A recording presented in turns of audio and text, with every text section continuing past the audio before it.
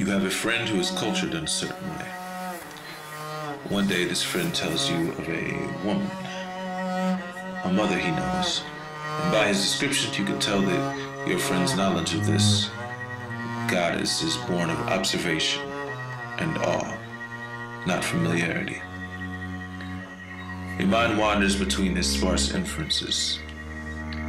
She is an artist, and collage, and a mermaid or a witch, the good kind, or this or that. In fact, you do not know what she looks like. You cannot pronounce her name. You cannot imagine what it would be like for her to smile at you. What would that do to you, cosmically? You can see her work. Actually, do not call it work. Work is such a depraved, unnatural Western word, coarse and unwieldy. Instead, call it one Wangechi.